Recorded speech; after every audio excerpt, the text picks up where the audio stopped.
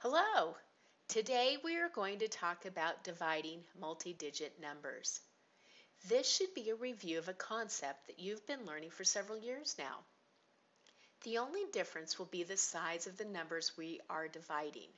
The learning objective for this video is I can fluently divide multi-digit numbers. Fluently means to do something with ease.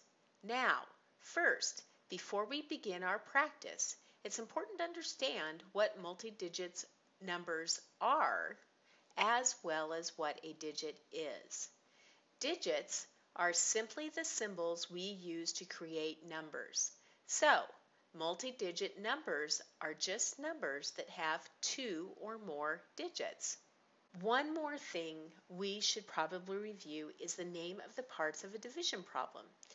These terms should all review, but Let's make sure you know them. First, we have a dividend, which is simply the number we will be dividing up. Next, we have the divisor. The divisor tells us how many pieces we want in a group. Finally, we have the quotient, which tells us how many groups we will have once we have divided the dividend by the divisor. Let's look at this example. We have 2,208. That's our dividend. We're going to divide it by our divisor of 92. So the first question you will ask yourself is, will 92 go into 2? Well, we know in this case the answer is no. However, later in the year we will be do doing problems like that. Let's continue. Since the answer is no, I like to put a zero above that digit so that I know where I am at any given time when solving my problem. Okay, Let's look at 92 divided into 22. Again, in this case, the answer is going to be no. So I'm going to put another zero above the 2 there. Now we have 92 divided into 220. That will work. Before I decide what to do next, I'm going to do some estimating. I'm going to round 92 to 90 since 92 is close to 90. Then I'm going to look at this 220 and go, well, that's kind of close to 200. 100. Now I know that 90 will go in to 100 one time. So if I have 200, it'll go in there twice. So I'm going to put 2 above the 0 since this is where we are in terms of dividing up our number. So 2 times 2 is 4. 2 times 9 is 18. Now it's time to subtract. Okay, 4 minus 0, we know that's not going to work. So we're going to have to borrow from our neighbor. Okay, now I have 10 minus 4 that equals 6. Instead of thinking, oh, 1 minus 8, I'm going to look at this number as 21 minus 18 because our difference is smaller than our divisor, I know I've done a good job. Since we're not finished with our dividend, I'm going to bring the final digit down and add it to the end of my difference. Now I have 92 divided into 368. Once again, I'm going to think to myself, 90 divided by, now should it be 300 or 400 this time? Well, 68 is closer to 400, so I'm I'm going to go ahead and use 400. So 90 divided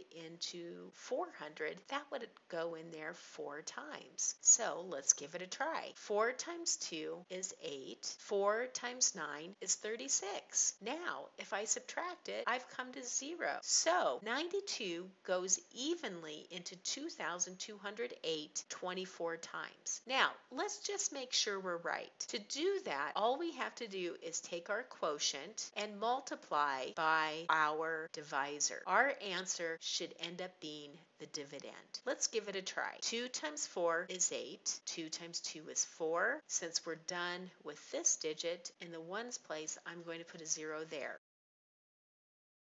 9 times 4 is 36, and 9 times 2 is 18. 18 plus 3 is 21. Now, let's add these up. 8 plus 0, 10, 2, and 2. So, we came up with 2,208. That's our dividend. So, yay! We did this problem correctly. Okay, let's see if you have the steps of dividing numbers now. Estimate, divide, multiply, subtract, bring down. Okay, write the following problem in your notes. Pause the video, review the steps, and give this problem a try. All right, let's see how you've done. First, I'll ask myself, how many times does 18 go into 1? Well, as we mentioned before, that's not going to work in this case. 18 divided into 12? Nope, that one's not going to work either. Let's try 18 into 127. Yes, that'll work. Now, I'm going to estimate. I'll round 18 to 20. I think to myself, well, 20 times 6 is 120, um, but the dividend is bigger, so I'm going to go ahead and try and add one more to my estimate because 27 is closer to 30. So 7 times 8 is 56, and 7 times 1 is 7, plus 5 is 12. Wow, we were close. Let's subtract 126 now from 127. Well, that's easy. We have 1 left. Okay, we know that we've done a good job because the 1 is smaller than 18. Now, let's bring down the next digit in the dividend.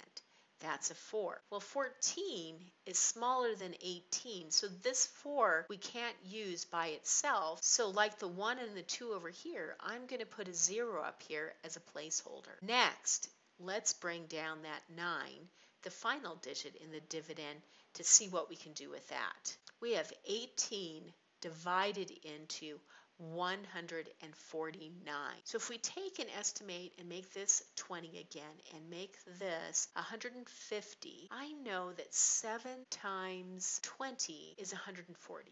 That'll be pretty close. Let's go ahead and give that one a try. 7 times 8 again is 56. 7 times 1 is 7 plus 5 is 12. Let's subtract and see what happens. 9 minus 6 is 3. 4 minus 2 is 2. That one's not going to work so well. Let's go ahead and make this into an 8, okay, and redo our work. 8 times 8 is 64. So, excuse me since I don't have an eraser, and we'll put the 6 over here. 8 times 1 is 8, plus 6 is 4. So that'll be 14. 9 minus 4 is 5, and 14 minus 14 is 0. Okay, now we've done it. We have 5 left over though, and we have no more digits remaining. We're going to solve this in one or two ways. First, we can just put remainder 5 and be done. Another way we can look at it is that a divisor is kind of like telling us how much makes a whole, just like in a fraction. So I have 5 left over, and 18 would make a whole, so I could also write it as 708 and 5 eighteenths. I would always want to simplify this fraction if possible, but in this case, we're already at the simplest form. So for right now, until we learn more about decimals, these two options for an answer are both correct. 708 remainder 5 or 708 and 5 eighteenths. Whatever you do, don't be discouraged if you don't always get the correct quotient the first time around. It takes practice, and solving our mistakes will always make our brains grow.